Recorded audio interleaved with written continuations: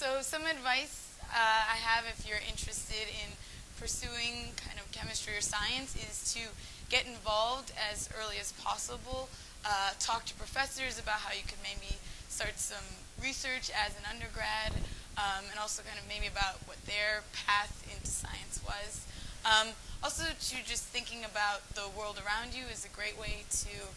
get involved and you know tr keep trying to make the you know push boundaries of what knowledge is. Um, my name is Emily Berkeley, and I'm a fifth year grad student at UPenn in Larry